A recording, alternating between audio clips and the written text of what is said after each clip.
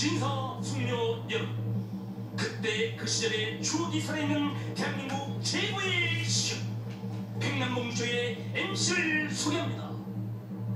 이 시대가 자랑하는 엔터테이너 백남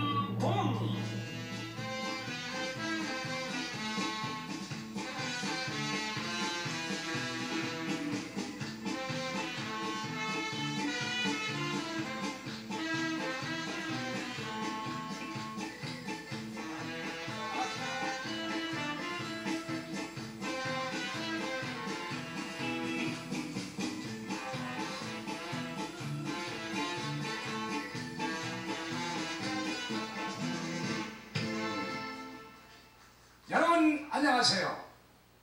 언제나 문화와 예술을 사랑해 주시는 실버 TV 가족 여러분 안녕하셨습니까? 감사합니다.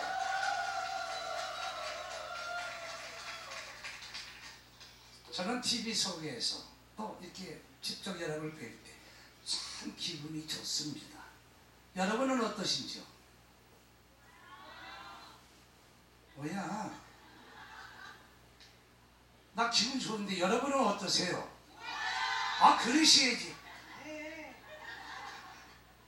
저기 누구라고 제가 말씀은 안 드리는데 기분 좋아해 보니까 뭐가 그렇게 수심이 차는 분 같은지. 그럼요. 사람은 기분에 산다 이런 말이 있습니다.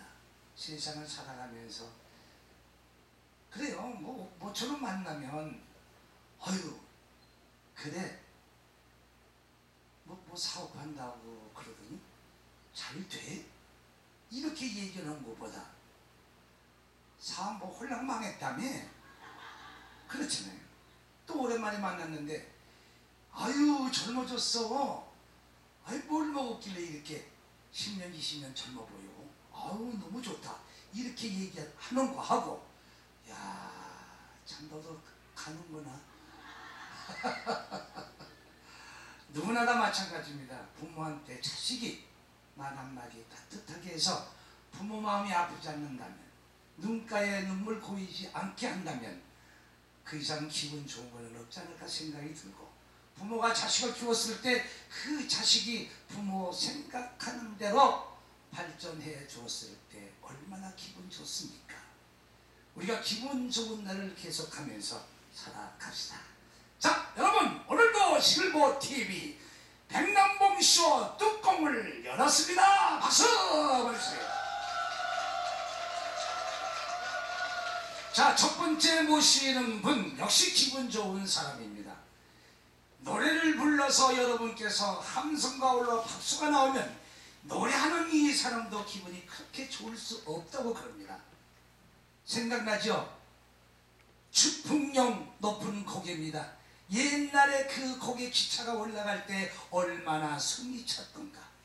그렇지만 올라가요. 내릴 듯도 싶거든. 추풍령 주인공 남상규 씨 소개합니다. 어서 오십시오.